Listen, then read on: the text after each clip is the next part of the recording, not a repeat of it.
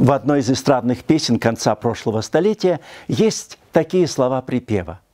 «Все пройдет, и печаль, и радость, все пройдет, так устроен свет.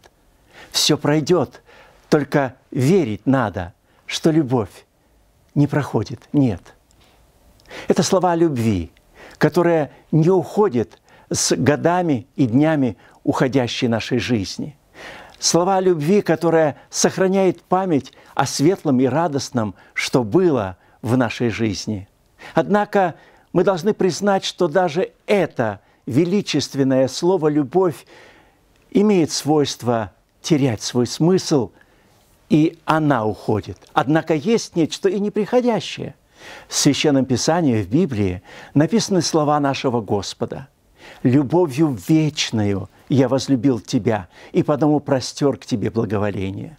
Хочу пожелать нашим зрителям помнить о том благоволении и о той заботе Божьей, что была к вам проявлена в прошлом.